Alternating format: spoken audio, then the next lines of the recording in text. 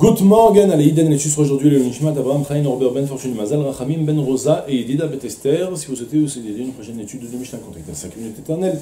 Nous étudions Maseret Erchin, Perekret, Mishnah, Hei, Amacharim, Beno, Ubito, Avdo, Veshifrato, Aivrim, Usde Miknato, Enan Muchramim, Shanadam Amacharim, Davar, Sheno Shelo. Kohanim Ulviim, Enan Macharimin, Divrei Rabbi Yehuda, Rabbi Shimon Omer, Akohanim, Enan Macharimin, שהחרמים שלהם, הלווים מחרימים שאין החרמים שלהם. רבי אומר, נראים דברי רבי יהודה בקרקעות, שנאמר כי אחוזת עולם הוא להם. ודברי רבי שמעון במטלטלין, שאין החרמים שלהם. On continue à parler dans notre Mishnah du sujet qu'on a introduit hier, qu'on a introduit vendredi, le thème des haramim. Il y a, dans toutes sortes de situations, quelqu'un qui veut se débarrasser d'un bien et se l'interdire de manière à faire un anathème en, bon français quoi. Euh, donc il va réprouver son bien, il va le dire, il, va dire qu'il n'en veut plus. Alors, il y a sur ça, quand on va, ça, a une, allure de neder, mais c'est un neder un peu original, particulier, que maintenant, puisque tu l'as exclu complètement de toi, alors euh, il va, ça va devenir la propriété du Bet Amikdash ou des Kohanim, selon le cas. On aura l'occasion d'en reparler ensuite, comment ça se passe exactement. Concrètement, en général, ce sera plutôt au Kohanim. On apprendra plus dans les détails. Pour le moment, dans notre Mishnah, on va parler des Kohanim. C'est ce qui nous intéresse. Ça va revenir au Kohanim. C'est un Kherem pour les Kohanim. D'accord? Vous avez compris le principe. C'est pas que je fais un don au Kohanim. C'est que je prends mon bien et je l'exclus complètement. Et la Torah a dit, bon, d'accord, il n'a plus de propriétaire, alors viens, on le donne au Kohanim. C'est dans cet ordre que ça fonctionne. Maintenant, on commence à traduire la première partie de la Mishnah. Le but l'essentiel de la Mishnah, ça va être la suite. Pour le moment, halakha simple. Amacharim beno, celui qui va réprouver, je sais pas comment dire, je sais pas trouver le bon mot en bon français, quoi. Celui qui va blâmer et réprouver son, fils. Il va, en il va le rendre rem, il va vouloir se l'interdire en anathème. Ou bito, ou sa fille. Avdo, son esclave, veshifrato aivrim, son esclave ou sa servante juif pas Knaani, pas comme dans la Mishnah précédente. Là-bas, on avait marqué qu'on pouvait décider qu'on allait s'interdire son esclave Knaani. La différence entre un esclave juif et un esclave Knaani, même, c'est que lorsque j'achète un esclave de chez les Goïm, alors, certes, quand il va entrer dans, il va venir dans, ma propriété, il va prendre un certain statut de juif dans la mesure où il va être imposé de plusieurs mitzvot, comme le même niveau de mitzvot que les femmes, en fait, chez Enazman Grama mais il a encore il a un statut que pour le moment c'est un bien, autant que, euh, que je possède des biens, je possède aussi des esclaves. À la différence du, de l'esclave juif, qui est donc l'esclave juif, la différence c'est qu'il est qu'il est Bnei Israël Avadim, la Torah l'a dit. On est déjà les esclaves d'Hachem. Donc on ne peut plus être dans un esclave aussi, euh, aussi fermement et aussi durement qu'un esclave goy. Donc de ce fait, c'est un plus un rapport de un rapport d'employé de, et, de patron en fait. D'accord? En tout cas, je reviens maintenant sur la Mishnah. Donc celui qui va vouloir faire un kherem sur son fils ou sa fille, ou bien sur son esclave, sa servante juif, ou miknatom encore sur un champ qu'il a acquis, pas sur sa parcelle qu'il a hérité de ses parents jusqu'à Yushua Ben non, mais plutôt d'un bien qu'il a acquis. Alors la Mishnah enseigne, eh bien, Enan, Enan Mukhramin, il n'aura pas réussi à les réprouver, à les à les, rendre interdits. Pourquoi? Macharim car un homme ne peut pas interdire une chose qui n'est pas à lui. C'est-à-dire, je m'explique, c'est très simple. Certes, le père, il a des droits sur sa fille. Il peut la vendre en esclave s'il veut, il peut la marier à qui il veut. Mais sa fille, c'est pas son bien. Donc, tu as des droits, tu as des droits. Mais si tu ne tu peux pas la rendre en khérem, puisque c'est pas à toi. D'accord? Idem encore avec, euh, bien sûr, son esclave et sa servante juive, comme ce qu'on a expliqué. Et le Sdemiknato, pour mieux préciser, on parle que c'est le sadé, c'est le champ de la parcelle de chez Réhouven, que j'ai acquis.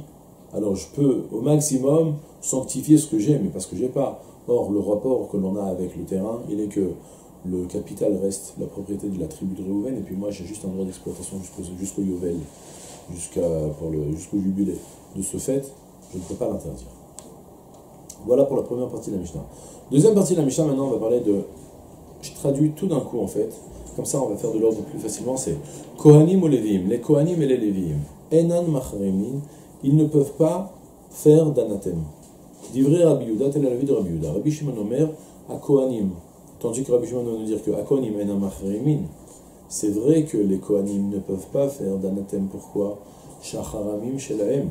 Car les Charamim, le Cherem, alors lui revient de toute façon. Grossièrement, il le fait sortir de la poche de droite et le rentre dans la poche de gauche. Par contre, les Lévi'im, Macharimin, les Lévi'im peuvent eux prononcer un anathème. Pourquoi? Shanacharamin Shalaim. Car le Cherem, les anathèmes ne leur reviennent pas aux Lévi'im. On va faire une première petite pause, on explique déjà un petit peu ce qui s'est passé. C'est, on parle de Kohanim et des Lévi'im.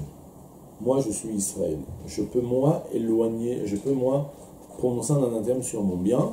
Et dans ce cas-là, la Torah m'a dit, ben, c'est devenu la propriété des Kohanim. Mais regardez qu'est-ce qui se passe d'original. C'est que si le Kohen lui-même, il va vouloir prononcer, lui, un anathème, il va faire prononcer un chérem, alors quoi donc, donc maintenant tu l'as interdit. Et la Torah vient te dit, bon, c'est bien, tu l'as interdit, mais je te le remets dans ta poche. On n'a rien gagné, on en rond. Donc un Kohen ne peut pas prononcer de chérem. Ça, c'est sur ce qu'il a écrit pour les Kohanim. C'est ce qu'il a écrit dans la Mishnah qui me dit Shacharamim Shalem, car le chérem lui revient de toute façon. Il y a quelque chose de très important à préciser, mais on s'en occupera après. Pour le moment, je vais d'abord présenter le squelette de la, de la Mishnah, l'enchaînement des idées. Donc, ça c'est pour les Kohanim qui ne peuvent pas prononcer les anathèmes, ils ne sont pas dans la paracha du Kherem. Tandis que les Lévim, alors la Mishnah me présente qu'il y a une. Les Lévim, en théorie, si un Lévi prononcera, il interdira quelque chose, eh bien, il a, ça y est, il a, l'anathème a fonctionné, et puis la Torah, elle va le prendre, elle va le redonner au Kohanim. Donc là, ça devrait marcher en théorie. Pourtant, la Mishnah m'enseigne une marloquette que Rabbi Yehuda dit que ça ne marche pas, et Rabbi Shimon me dit que ça marche. On ne comprend pas pourquoi pour le moment, il faut continuer la Mishnah. Rabbi Omer, Rabbi enseigne. Nirin divrei Rabbi Yehuda bekarkaot. Il semble que la halakha est établie comme Rabbi Yehuda dans les karkaot, dans les biens immobiliers. En fait, le Bartanda nous dit qu'il faut le lire comme ça, la Mishnah.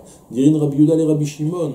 Sachez que Rabbi Yehuda reconnaît Rabbi Shimon, que Rabbi Shimon il a raison quand on parle des karkaot, quand on parle des biens immobiliers, chez Neymar, comme nous dit le verset, olam hulaem, comme nous dit le verset, car c'est un héritage éternel pour eux. Tandis que, Vedivre Rabbi Shimon Metaltelin, par contre, je retiens la lacha comme Rabbi Shimon pour les biens mobiliers, car le Cherem n'appartiendra pas au Lévi. Et j'explique ce qu'il a dit d'abord, Rabbi Uda, concrètement, après, on va refaire le lien avec Rabbi Shimon Rabbi Yuda. Et après, euh, on, fera de l'ordre jusqu'au bout. C'est-à-dire, Rabbi, Rabbi, Rabbi, vient et me dit, bon, on va s'occuper des Lévim. Vous vous rappelez, il y a les Kohanim et les Lévim. Les Kohanim, on a dit, c'est très logique. Ça sert à rien de prononcer le Cherem, parce que tu vas l'interdire, et la Torah a dit, bon, je te le remets dans ta poche. Donc, tu as tourné en rond, ça n'a pas marché. Par contre, pour les Lévim, on a vu qu'il y avait une discussion, on a eu du mal à comprendre de quoi on parle exactement. Rabbi Shimon a dit que, bien sûr que ça marche. En théorie, il a raison, Rabbi Shimon, ça devrait marcher. On pourrait prononcer un harem parce que ça ne va pas revenir dans la poche du Lévi, ça, doit revenir dans la poche du Cohen, donc c'est bon. Tandis que Rabbi Yuda dit non, mais malgré tout, ça ne marche pas. Viens Rabbi et nous dit, tu sais, je t'expliquais, Rabbi Yuda, il a raison en fait dans les biens immobiliers. Parce que les biens immobiliers, les villes des Lévim en réalité, alors la Torah a insisté qu'ils devront rester éternellement la propriété des Lévim. C'est-à-dire qu'en fait, la Torah, elle a exclu, elle a dit, tu sais, ça ne marchera pas de prononcer un chérem, l'anathème sur les biens immobiliers que la Torah a donné aux Lévim. Parce que la Torah a dit, ce sera la propriété éternelle pour les Lévim. Donc tu ne peux pas, toi, la donner à quelqu'un, la léguer, l'interdire, la léguer à quelqu'un d'autre comme ça. D'accord?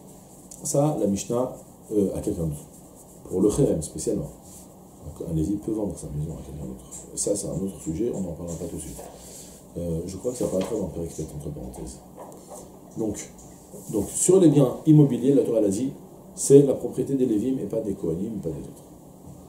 Par contre, pour les biens mobiliers, alors là, Rabbi Shimon, il a raison, parce qu'il n'y a aucune raison qu'un Lévi ne pourra pas prononcer d'anathème. Et là, c'est sur ça, en réalité, qu'il y a la marloquette. Le partenaire, il explique, il y a un partenaire qui explique que c'est concrètement la, la marloquette entre Rabbi et Rabbi Shimon se trouve en réalité que sur les biens mobiliers.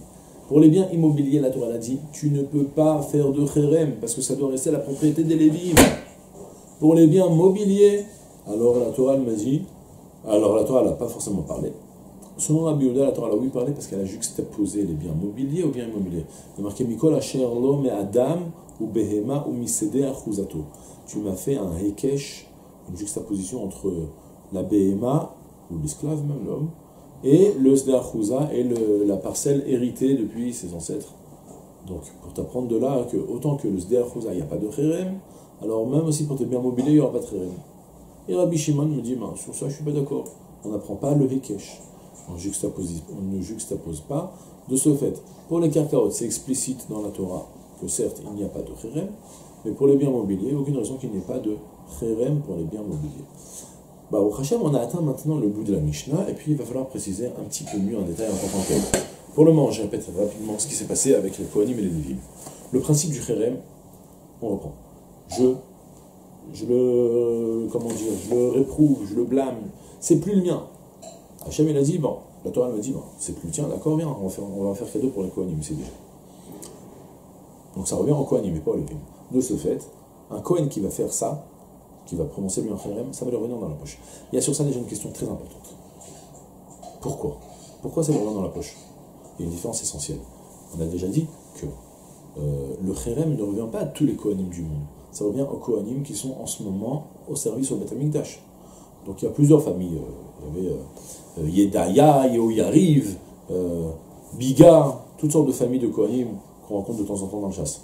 Donc on va prendre Yehoyariv par exemple. On est dans les keynotes de Tisha on n'est pas ça c'est pas ça Mishmat Yehoyariv. arrive et Yedaya.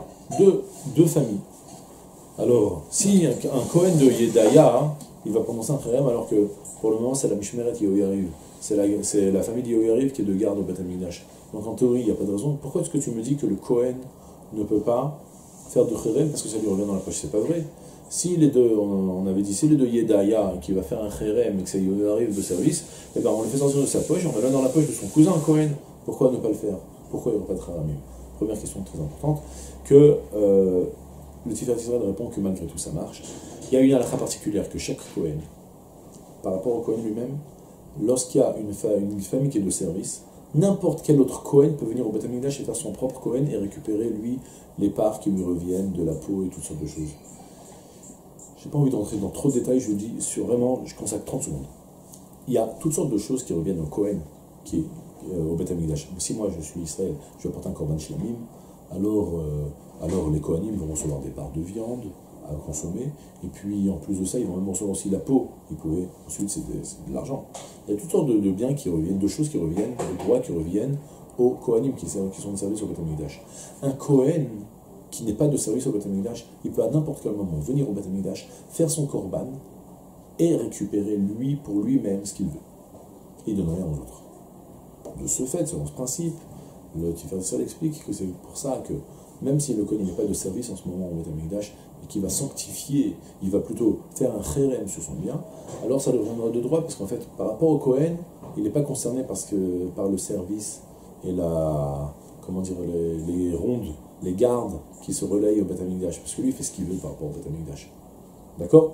On a refermé la petite parenthèse, et on continue maintenant sur les Lévi'im, on, on est en le le point. Donc pour les Kohanim, ils ne peuvent pas prononcer de Kherem parce que ça leur revient de toute façon à lui.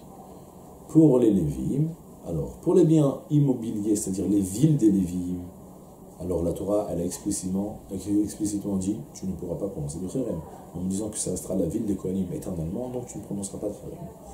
Pour les biens mobiliers, il y a une marque entre Rabbi et Rabbi Shimon. Rabbi juxtapose les biens mobiliers aux villes des Lévim, donc de ce fait, ils ne peuvent pas prononcer de Kherem dessus. Et Rabbi Shimon ne juxtapose pas, donc tu pourras prononcer de Kherem. Et le Barthénor a conclu en nous disant que la halakha est établie comme Rabbi Shimon. C'est tout pour aujourd'hui, je souhaite une plein de Kol